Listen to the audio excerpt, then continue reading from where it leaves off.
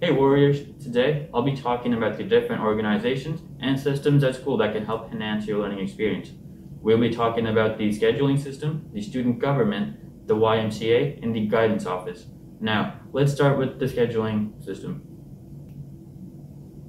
The school uses a block system for scheduling. There are four subjects in a day, and these subjects take place in different classrooms located in different parts of the school. For example, you may have your A block class on the third floor and a B block class on the ground floor. The student government is a student-led organization in our school that organizes various activities throughout the school year, including spirit activities and fundraising events.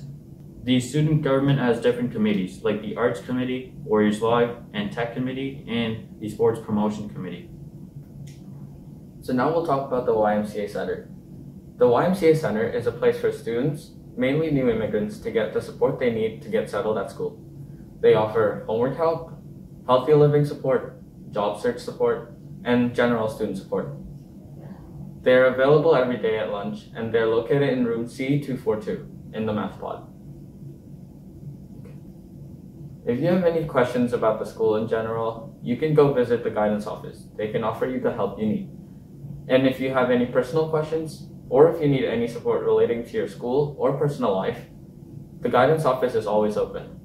You can visit them anytime during the school day, and you can set up appointments with one of the guidance counselors here to help you with anything you need.